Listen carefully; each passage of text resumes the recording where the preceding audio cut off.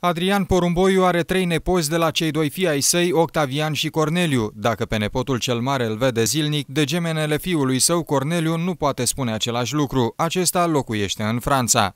Am oaspeți de seamă, îmi vin nepoțelele acasă, așa că... Am, A, o să pregătiți cadouri pentru ghetuțele lor. Da, da, da, da, da. da. Asta, hmm.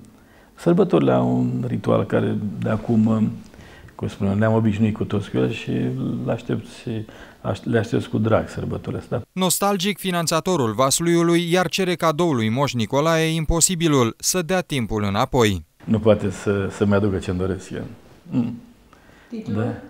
A, nu, nu, nu, nu, nu, mă gândesc la momente care sunt irepetabile și nu mai pot tânjesc după ele așa în modul cel mai... Da, asta e viața.